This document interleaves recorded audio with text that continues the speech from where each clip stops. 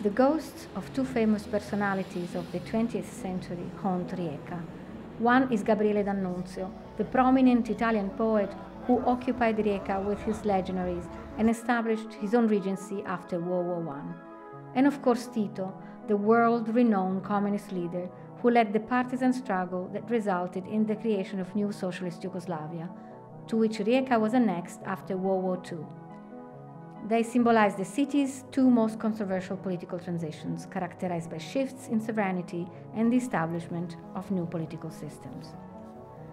In today's Rijeka, several places and sites with a vibrant history are deeply associated with these two personalities.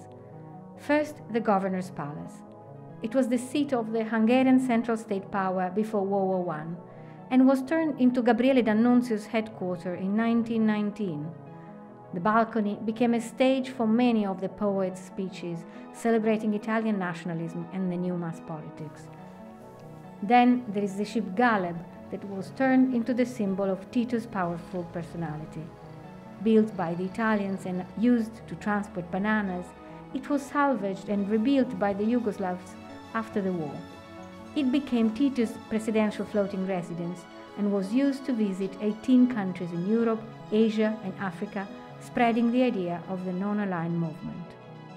Other places in the city are the explicit result of the presence of D'Annunzio and Tito.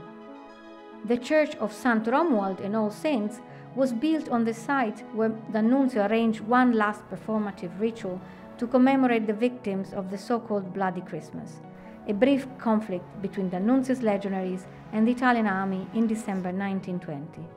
The crypt under the church preserves the remains of the victims of those clashes, along with Italian soldiers who fell in World War I. Tito's presence marked Rijeka's landscape with a wide stone obelisk in the shape of a letter T, crowned by the statue of two partisan soldiers.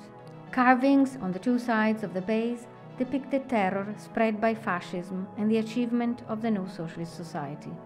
The obelisk was Rijeka's first major post-war monument commemorating the 10th anniversary of the city's liberation in 1955.